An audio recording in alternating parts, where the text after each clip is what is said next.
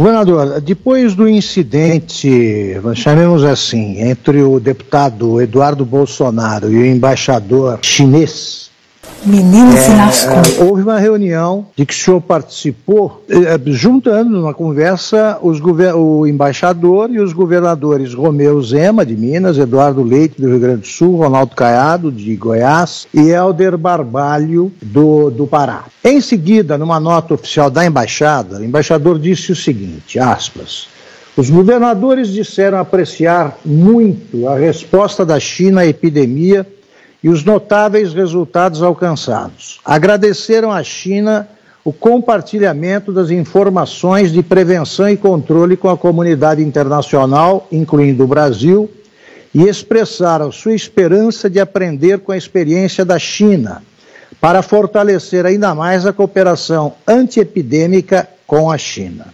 Pois bem, aqui eu afirmo, eu não suponho, que a China, a ditadura chinesa, escondeu o coronavírus por quatro semanas, puniu os cientistas que identificaram a origem da epidemia, puniu jornalistas que blogueiros que tentaram que eh, alertar para as dimensões do perigo, fez tudo isso com a cumplicidade da Organização Mundial de Saúde e pós agora de benfeitora da humanidade quando agiu ao contrário. O senhor, agora o senhor, o senhor tem a oportunidade de esclarecer ou desmentir o que diz esse comunicado da China.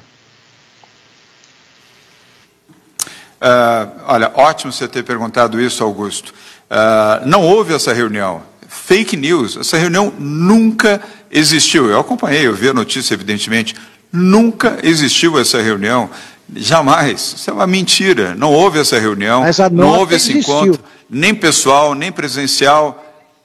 Não, não, eu desconheço. A nota a, a, nem sequer a nota. pela embaixada existiu.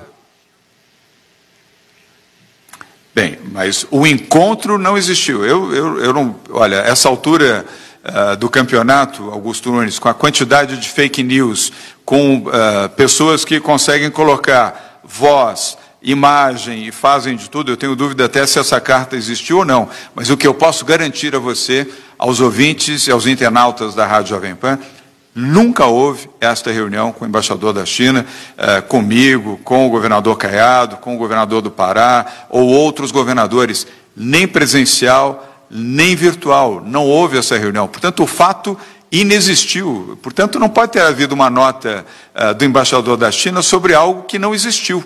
Portanto, então o senhor admite que a China a primeira não eu posso assegurar. o que diz o embaixador?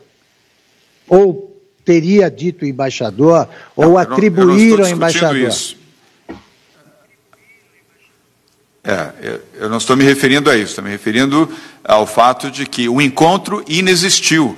Inexistindo o encontro, não pode haver uma manifestação uh, do embaixador sobre algo que simplesmente não existiu. E eu não estou aqui desconfiando do embaixador da China, estou apenas desconfiando de que isto tenha sido produzido também para criar uh, um profundo mal-entendido e justificar algumas atitudes como essa uh, do deputado uh, Eduardo Bolsonaro.